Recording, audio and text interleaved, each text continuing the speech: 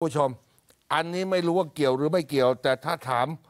ลูกสาวซึ่งคุณแม่จู่ๆหัวเราะอยู่ดีๆ ล้มหงายตึง ท่านผู้ชมฮะบอกว่าอากาศร้อนก็มีส่วนเพราะมัน 40 องศาดูภาพเถอะ เนี่ย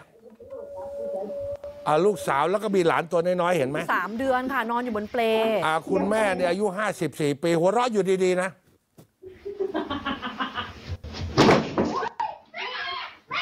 หมดสติ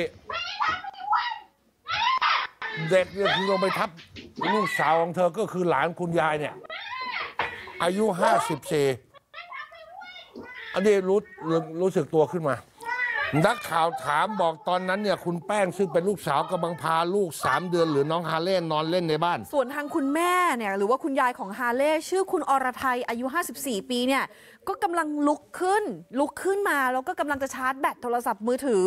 ตอนที่ชาร์จก็คุยกันหัวเราะสนุกสนานไม่มีอาการวูบหรืออะไรเลย อยู่ดีๆ คุณแม่ก็หงายหลังล้มลงแล้ว ไปทับลูกน้อยวัยหมดสติ สามเดือน คุณแม่ไม่รู้สึกตัวเลยตอนนั้น เธอก็พยายามเรียกคุณแม่ เรียกว่าทับหลาน หลังจากนั้นคุณแม่ถึงรู้สึกตัวขึ้นมา แล้วก็บอกว่า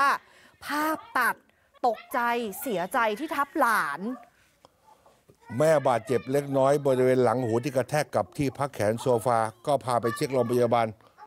หมอให้สังเกตอาการดูนะฮะท่านผู้ชมฮะ ส่วนลูกตอนนี้ยังปกติดีคือทับลงไปช่วงหนึ่งแต่หัวโนนิดหน่อยนะคะ น้องสามเดือนเนี่ยยายว่ายังไง คุณยายอายุรไท54อย่าไปเรียกคุณยายแต่เป็นยายของเหล็กยายอะของฮาเล่บอกว่าตอนที่วูบไปจำอะไรไม่ได้เลยเหมือนมันดับไปเลย พอเห็นคลิปตกใจมาก ไม่เคยเป็นมาก่อนสุดท้ายก็คือเสียใจที่ทับหลานนะคะ โอ้โหอะขอบคุณนะฮะที่ให้ข้อมูลเอามาเป็นตุตาหรณ์คุณแป้ง ได้แจ้งกับเรามาอะขอให้ปลอดภัย